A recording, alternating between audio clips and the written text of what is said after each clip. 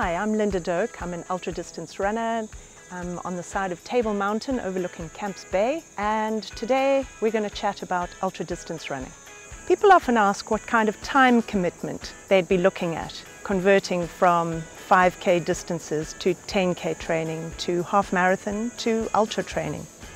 I think the most important aspect of transitioning to longer distances is to not do it too fast. 10% increase in distance a week is really the best way to do it. And a popular misconception is that the longer you run and the further distance you're training for, so you just need to do longer runs. It's not the case at all. You still need to mix up your training. It's important still to do the short stuff, the, the quick stuff, hill repeats, uh, uphill running, downhill running, and then on the weekend, do longer runs. And that's probably the biggest difference between preparing for 5 and 10k distances to ultra, is the long runs. The important thing about your long runs is that it's less about clocking up unlimited miles and more about getting the most out of your miles. It's about quality, not quantity. People often ask me if they need to increase their calorie intake in line with increased training distances. As runners, fueling is very important for us and I really don't believe in calorie counting. What I do recommend is that the calories that you take in are definitely quality calories. Make sure the food you're eating is of the best that you, you can afford and that you can take in. If anything, I would say it's advisable to add more protein to your diet Remember, with your increased mileage, you're putting your muscles and your body through additional strain, and protein is great for muscle recovery. One of the questions that came in asked about nutrition on the run and what we should be eating during long runs. Many people can't stomach gels and supplements. Personally, I believe we should be having whole foods, raw foods, during a run. Keep it simple.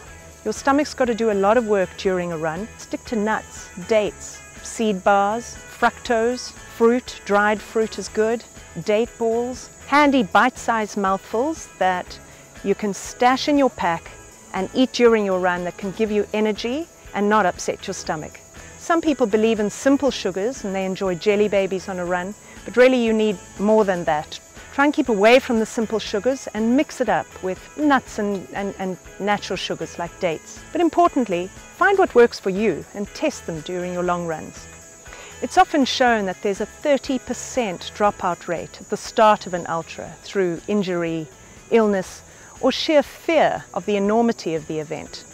In the preparation for an ultra, there's often the temptation to overtrain, to really clock up way too much mileage, which will tire out the body.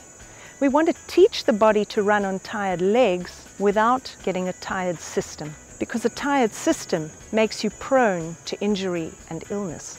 And as for the sheer fear at the enormity of the challenge of an ultra, yes, running ultra distances can be intimidating, but never see that distance as one large chunk because then you will freak yourself out. Rather break it down into 10k increments and tackle each one that way. Then it's far more digestible.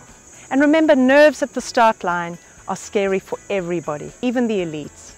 And that leads us straight into the next topic, how do you deal with the emotional side of training for and running an ultra?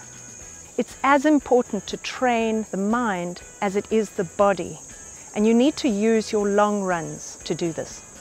A good tip is to try and do as much homework about the race that you're about to tackle as you can. So then you can visualize the conditions that you're likely to be running in and try and anticipate what you'll do in each of those circumstances. This will help prepare you and give you confidence when you're standing on that start line. Importantly, know that you will go through tough times. It's guaranteed. That's the nature of the sport. It's the nature of ultra running. It's the challenge of pushing through and achieving and getting beyond those difficult moments. And then the final question we've been sent is, what should we carry during an ultra?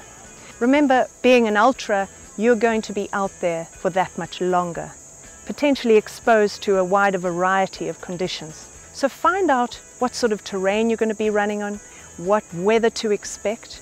Also estimate how long you're going to be out there and you don't want to be caught short nutrition-wise or hydration-wise. And remember, the more prepared you are for your ultra-distance run, the more fun you can have, the more space there is to enjoy what you love doing.